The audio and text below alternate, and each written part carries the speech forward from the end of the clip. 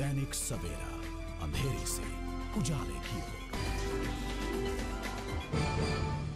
अखिल भारतीय दुर्गा सेना संगठन के राष्ट्रीय अध्यक्ष श्री श्री 108 स्वामी सिकंदर जी महाराज की अध्यक्षता में दुमोरिया पुल के नज़दीक प्राचीन शिव मंदिर में माँ बगलामुखी हवन यज्ञ करवाया गया।